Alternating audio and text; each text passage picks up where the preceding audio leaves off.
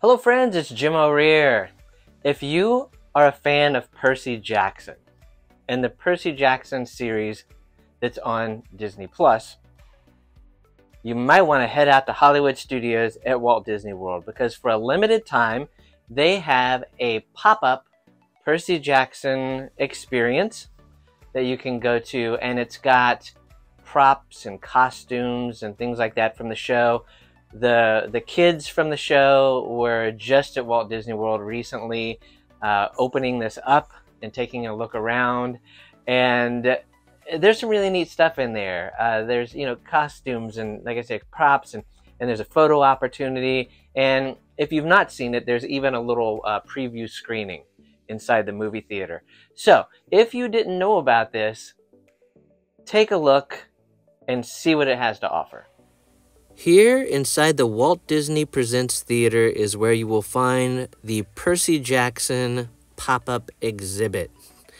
And this is here for just a very limited time, and you can see all types of costumes and props that were used in the Disney Plus TV series, um, such as Camp Half Blood stuff, some of the the uh, armor that they used. Here is a necklace also, this is Annabeth's sword and shield, as well as Percy's armor right here. Pretty cool to see that stuff.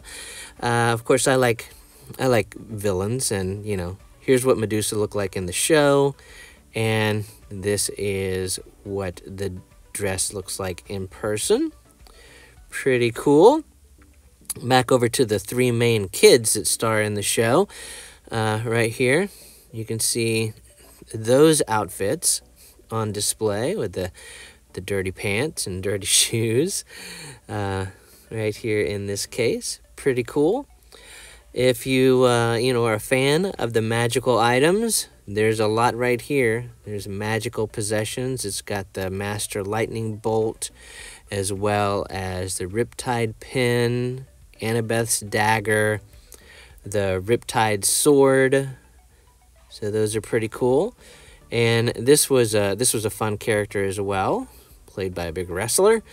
And this is his outfit that you can check out right there. Pretty cool detail. That was one of my favorites. And then in memory of Lance Reddick, who is no longer with us, this is the suit he wore as Zeus in the Percy Jackson TV show.